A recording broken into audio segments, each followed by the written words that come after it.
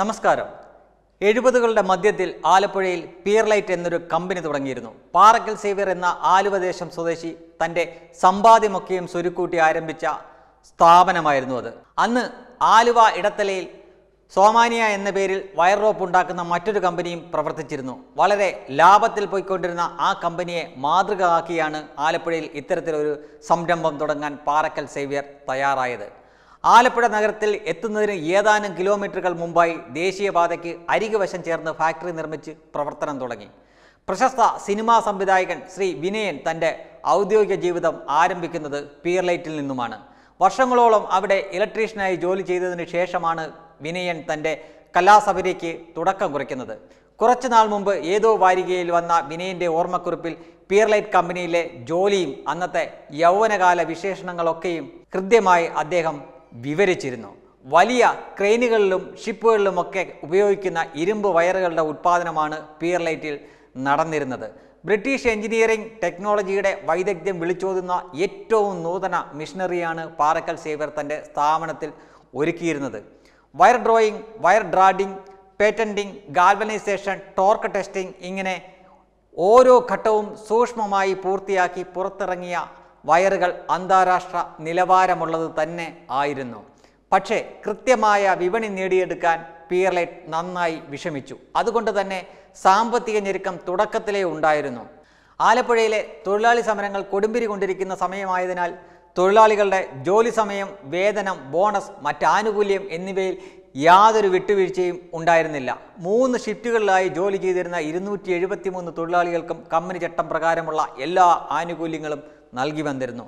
Trade union തലപ്പത്തെത്തി കഴിവ് തെളിയിക്കുന്നവർക്ക് parliamentary സ്ഥാനം എളുപ്പത്തിൽ ലഭിക്കുന്ന ഒരു രാഷ്ട്രീയ സ്ഥിതിവിശേഷം അന്ന് കേരളത്തിൽ ഉണ്ടായിരുന്നു. അതുകൊണ്ട് തന്നെ കിട്ടാവുന്ന ഏത് സാഹചര്യവും മുതലാക്കി കളം പിടിക്കാൻ കുട്ടി സഹാക്കന്മാരും ജില്ലാ കമ്മിറ്റിക്കാരുമൊക്കെ കിണഞ്ഞു പരിശ്രമിക്കുമായിരുന്നു.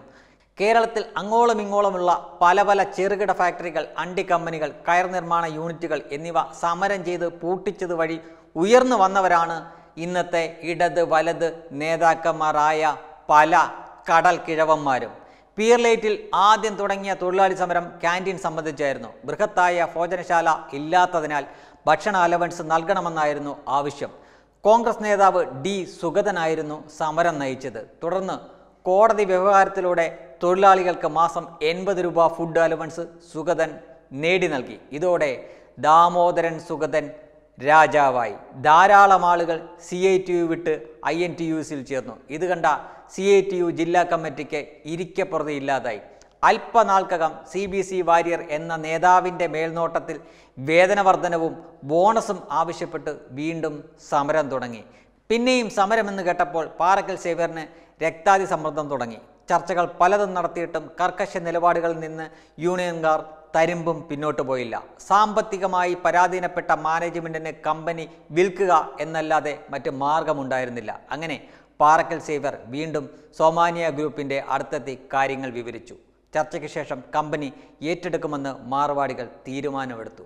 കരാർ പ്രകാരമുള്ള തുക നൽകി പാറക്കൽ സേവറിൽ നിന്നും ഉടമസ്ഥാവകാശം സോമാനിയ എന്ന നോർത്ത് ഇന്ത്യൻ ഗ്രൂപ്പിലെത്തി. പുതിയ മാനേജ്മെന്റിൽ നിന്നും അനുകൂല പ്രതികരണം ഉണ്ടാകുമെന്ന പ്രതീക്ഷയിൽ പാവം തൊഴിലാളികൾ വർഗസമരം നിർബാധം തുടർന്നു. പക്ഷേ സോമാനിയ ഗ്രൂപ്പ് ഔട്ട്പുട്ട് മെഷർമെന്റിന് വേണ്ടി ഒരു കമ്മിറ്റിയെ നിയോഗിക്കുകയും ഒരു മാസം ഇതിനായി അനുവദിച്ച് നൽകുകയും ചെയ്തു.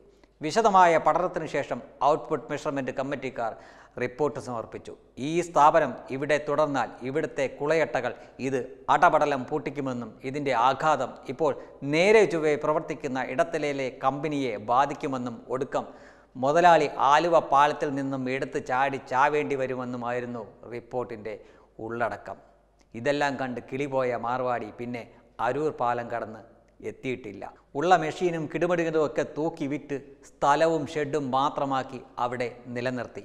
പാറക്കൽ സേവ്യർ ആവട്ടെ കിട്ടിയ കാശിന് ആലുവ ദേശത്ത് ടൈൽ കച്ചവടവും തുടങ്ങി. അതോടെ അങ്ങേര് രക്ഷപ്പെടുകയും ചെയ്തു. എന്തായാലും സി ബി സി വാര്യർ ആയിരത്തി തൊള്ളായിരത്തി എൺപത് എൺപത്തഞ്ച് കാലത്ത് എം എൽ എ പട്ടം നേടി ഉദ്ദിഷ്ടകാര്യം സാക്ഷാത്കരിച്ചെടുത്തു. യൂത്ത് കോൺഗ്രസ്സുകാരൻ ഡി സുഗതനാവട്ടെ സാക്ഷാൽ വി എസ് അച്യുതാനന്ദനെതിരെ മത്സരിച്ച് തോറ്റ എം എൽ എയുമായി. ആകാശഗംഗയും കരുമാടിക്കുട്ടനും വാസന്തിയും ലക്ഷ്മിയും ഒക്കെ പിടിച്ച് തൊഴിലാളി വിനയൻ ഭൂഷവിനയനായി മാറി എന്നതാണ് ഏക പ്രത്യേകത. ബാക്കി വരുന്ന ഇരുന്നൂറ്റി എഴുപത്തിരണ്ട് പേരുടെ ഗതി എന്തായി എന്ന് തമ്പുരാന് മാത്രമറിയാം. അഹന്തയും അഹങ്കാരവും മൂത്ത് മതിഭ്രമം പൂണ്ട നേതാക്കളാണ് കേരളം ഉടനീളം.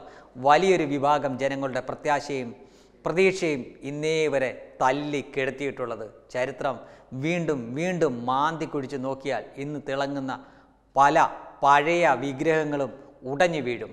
ഇടതിലും വലതിലുമൊക്കെ ആയിട്ട് അങ്ങനെ നിരവധി പേർ ഉണ്ട്. ഇനിയും ആ ചരിത്രങ്ങളൊക്കെ ഈ മണ്ണിൽ ആവർത്തിക്കപ്പെടുക തന്നെ ചെയ്യും. കാരണം ഇവിടെ ഇടതും വലതും ഇപ്പോഴും അങ്ങനെ തന്നെ നിൽക്കുന്നു. വെബ് ഡെസ്ക് തത്തുമൈ ന്യൂസ്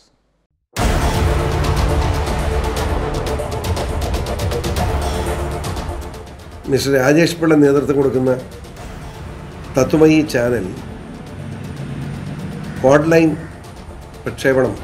പുനരാരംഭിക്കുന്നു എന്നറിഞ്ഞ സന്തോഷം. ഇത് ആരംഭം കുറിച്ച സമയത്തും ഞാൻ തന്നെ അഭിപ്രായം രേഖപ്പെടുത്തിയിട്ടുള്ളതാണ്.